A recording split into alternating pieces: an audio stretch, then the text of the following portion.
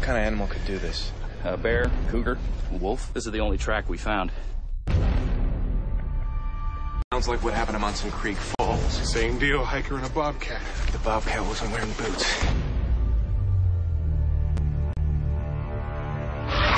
Who?